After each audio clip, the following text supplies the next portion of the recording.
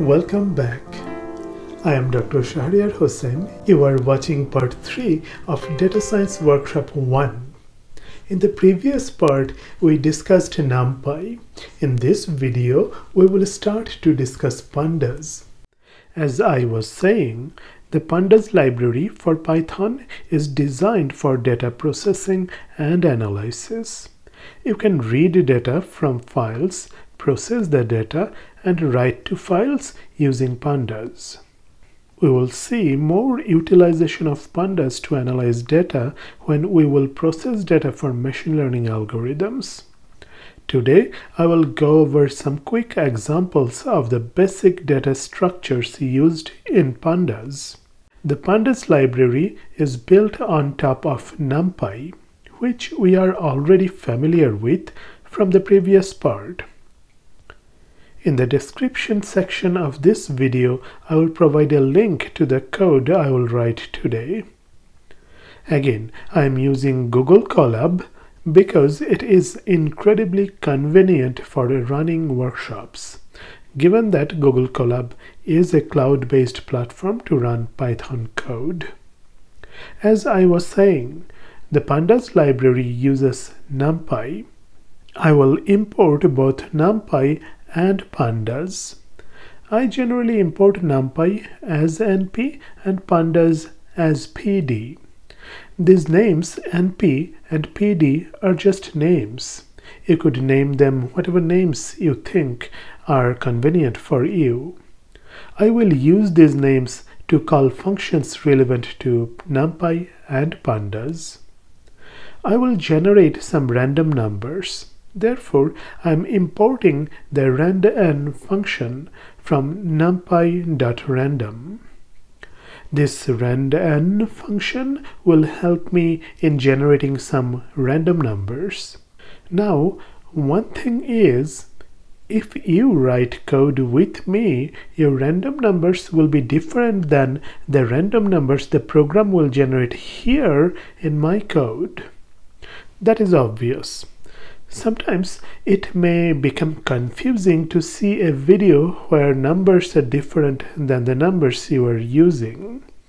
To solve this issue, I am writing this next line where I state that the random number generator has an initial state of 50. If you also include this line, then whatever random number I will generate in this program, your program will generate the same numbers. That is, you can use the same line with the value 50 to reseed the generator. After reseeding, if I generate a random number and you also generate a random number, both the random numbers will be the same. If I generate a second random number, it will be equal to your second random number, so and so forth. Let me create a 5 by 4 matrix of random numbers as an example. If you are writing code with me, you will see that you have the same random numbers. If I run this line again, I will see different numbers the second time. If you run this line a second time, you will have the same numbers as I have now on the screen. That is quite an interesting feature, isn't it? This uh, seed function is quite good for testing purposes to reproduce the same random test data. Many machine learning algorithms have the seed function to make sure that the initialization of the algorithm can start from the same state when required. For this matrix, I'm running the line to reseed at 50. Then I'm generating the numbers after reseeding. You will have the same matrix if you run this line first time after reseeding with 50. It is fine if you do not write this line. In that case, my random numbers will be different than your random numbers. The pandas library has two basic data structures, series and a data frame. A series is analogous to a one-dimensional array. A data frame is analogous to two-dimensional array. You can consider a data frame as an Excel sheet.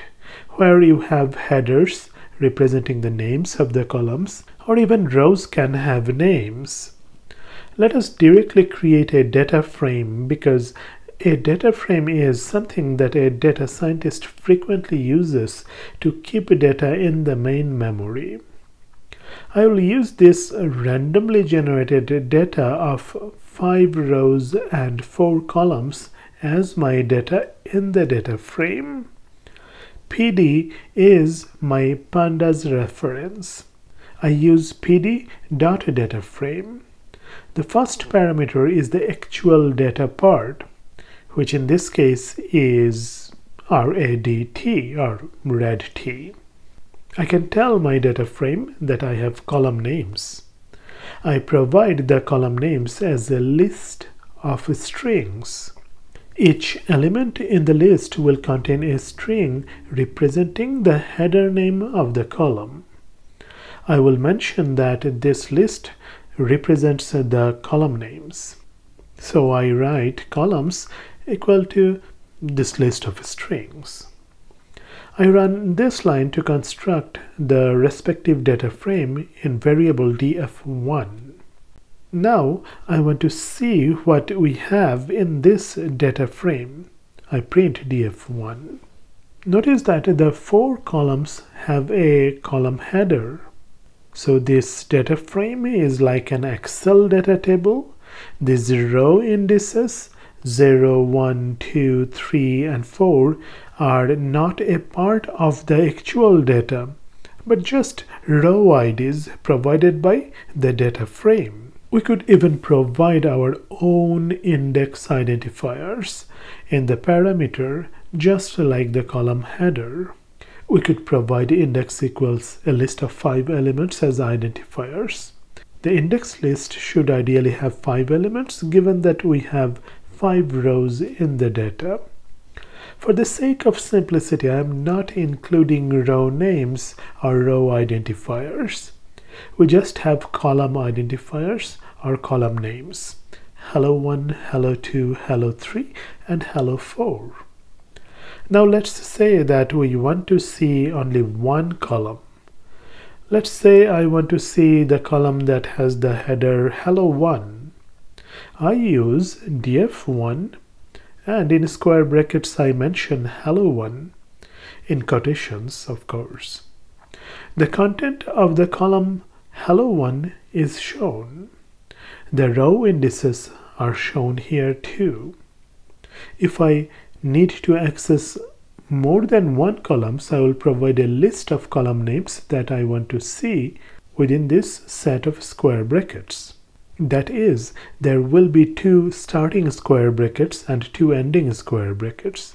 Since I have provided a list of column names, those corresponding columns have been selected and displayed here.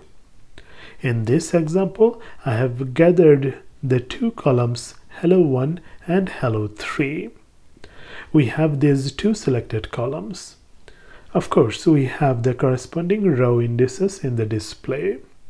Therefore, I selected a subset of the columns this way. I can even create a new column. Let's say that I want to create a new column named my new call.